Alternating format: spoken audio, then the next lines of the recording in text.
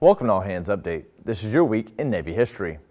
January 30th, 1944, PB-2Y aircraft from Midway Island carry out a nocturnal bombing raid on Wake Island to neutralize Japanese airfield installations. The strike marks the first time PB-2Y Coronados were used as bombers. February 1, 2003, due to a failure in the Shuttle Shield Protective System, Space Shuttle Columbia disintegrates and is lost with all astronauts. The failure of the protective system was on the leading edge of the left wing during its re-entry into the Earth's atmosphere. February 3, 1917, President Woodrow Wilson, in an address to Congress, severs diplomatic relations with Germany. On the first of the month, Germany reintroduced the policy of unrestricted U-boat warfare, which led to the severance. To find out more about naval history, visit the Naval History and Heritage Command website.